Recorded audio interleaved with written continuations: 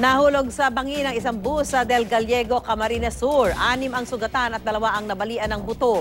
Umuulan kaya madulas ang kalsada. Hawak na ng pulisya ang driver at konduktor ng bus. Wala silang pahayag. Sa Cebu City, sugatan ang mag-asawang Lisa May at Christian Tigley matapos makaaway ang kanilang mga kapitbahay. Kwento na inarestong sina Miguela Baino at Ricardo Bacalso. Sinugod sila ng mga biktima at kinutya. Hindi raw nila pinansin ang mga ito pero sinundan sila hanggang sa loob ng kanilang bahay. Si Christian sinuntok at sasaksakin umano si Ricardo. Kaya si Miguela, rumesbak dala ang itak. Pero ang kwentong niya ng mga suspect, pinabulaan na ng ina ni Liza May. Sina Miguela at Ricardo raw ang unang nanugod.